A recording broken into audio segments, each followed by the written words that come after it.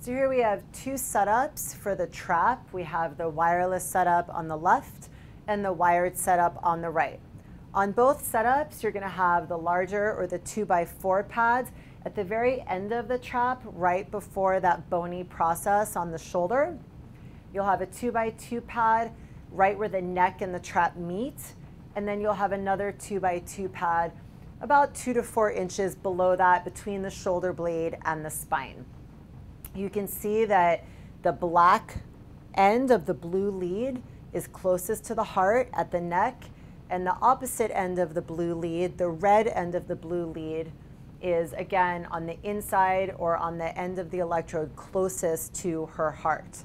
The black end of the green lead, again, is closest to her heart on the electrode pad that is between the spine and the shoulder blade.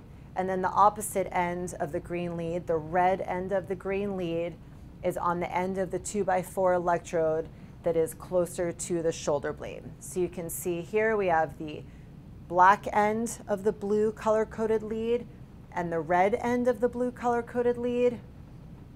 And then we have the black end of the green color-coded lead and the red end of the green color-coded lead.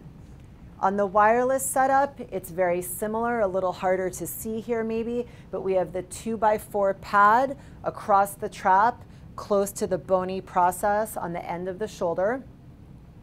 We have one end of one wireless lead on the two by four electrode end that is closest to the shoulder blade.